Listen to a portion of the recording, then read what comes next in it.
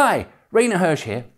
If you've ever seen an orchestra, you've probably tried to make a connection between what the conductor is doing and what's going on in the music.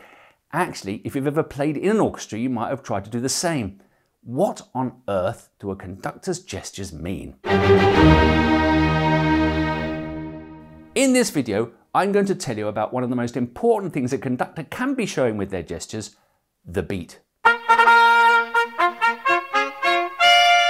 Whatever kind you like, all music has got some sort of regular pulse running through it. This is the beat. If your thing is rock or pop music, the pulse is easy to spot because it's almost always being pumped out by the drummer. So, if instead of rocking out at a concert you decided you were going to clap along to your favourite group, apart from looking like a dork, it's the drummer you clap along to. In classical music, the pulse or beat is more subtle, but it's still there. If you were at a classical concert, worked out where the pulse was, then clapped along, you wouldn't look like a dork, but you would look like a bit of a weirdo and they would chuck you out because, well, it's classical music and them's the rules. Except in a couple of special pieces where everybody does it. Stop that!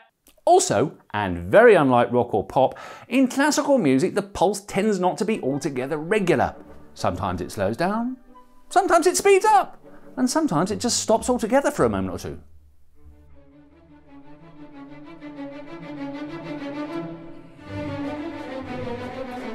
In order for the music to sound expressive and not like it's being played by a computer, it's often doing something, the beat in classical music, not just landing in the same place in the same tempo over and over again. That's why, and especially because there's no drummer, in order for them to play together, classical orchestras use someone to show them what's going on with the beat, the conductor. Now, for very regular music with no funny business like speeding up or slowing down, there can be not much for that conductor to do. And for more about that, check out my other video, Does an Orchestra Need a Conductor? Link below. But whatever the style, whatever the speed, in music, some beats just seem more important than others.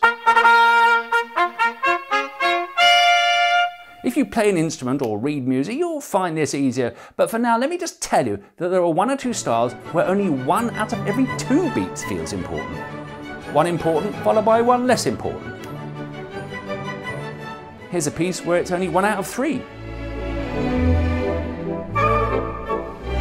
One out of four.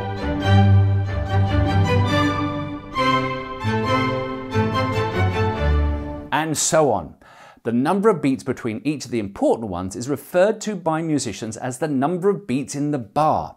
When showing the beat, a conductor uses a system of generally agreed patterns which match these beats in the bar. Now, there are some slightly different versions of this, but whichever one the conductor is using, the important strong beat is always given down and center, and the other beats are given a regular arrangement around that.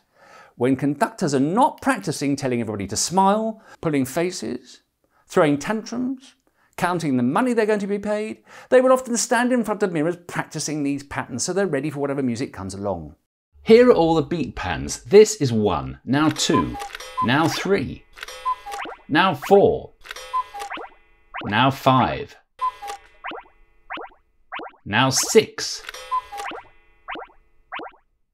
seven, eight, nine.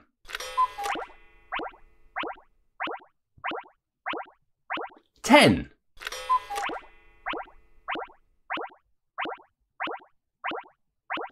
Eleven.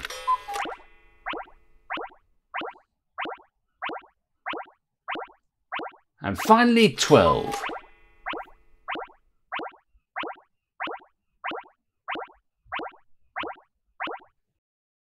Yeah, right. Patterns for one, two, three, and four beats in the bar, fair enough, but five?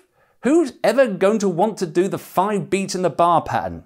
Well, the theme tune to Mission Impossible's in five.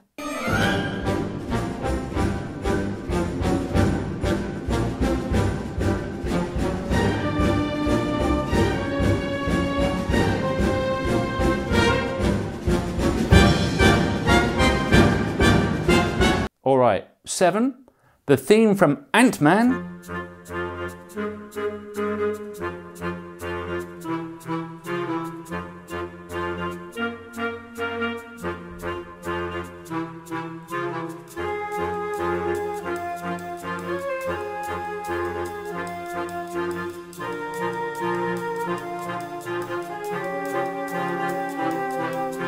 Eleven, the music for the results page of Mario Kart 64.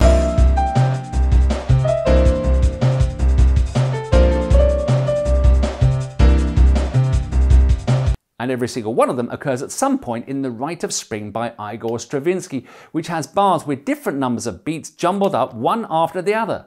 So, how do you conduct that? Well, you jump around between your patterns. Actually, in some ways, because getting the patterns right so that the musicians know where they are is so important, conducting the Rite of Spring is not as horrific as you might think. You just have to be on the ball, know what pattern comes next, and be clear. Okay, got it. But why does the conductor show all the beats? Why not just show the important, strong one? In an orchestra, remember that not everybody is playing all the time. If the piece has four beats in the bar, say, and the violas are supposed to start playing on beat three, they're going to be pretty interested in beats one and two. Then you've got to remember that the pulse in classical music is flexible, with small variations here and there. If the musicians only saw the one important pulse and none of the others between, any speeding up, slowing down, or emphasis that happened with those other beats would be lost.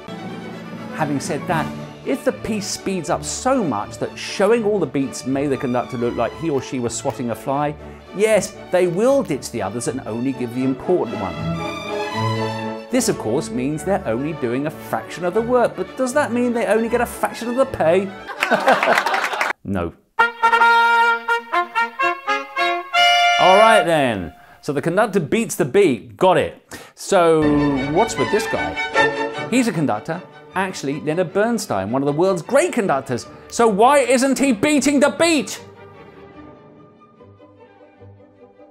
Remember, regular music, no funny business, there can be not much for a conductor to do, especially with top quality professional musicians. Here it's two regular beats in a bar, and everybody can count to two, right? Except for maybe the brass section, but that's another story. But interesting, isn't it? All the gestures you'll notice from a conductor when you're no longer distracted by them beating the beat. The gestures can be tiny, facial movements even, devoting their entire attention to showing how the music goes. The expression, the phrasing, what do you mean, the expression, the phrasing? Well, that's another video. What conductors do when they're not reminding everyone to smile, pulling faces, throwing tantrums, counting the money, or beating the beat. And until then, thanks for watching. Please like and subscribe. Bye-bye.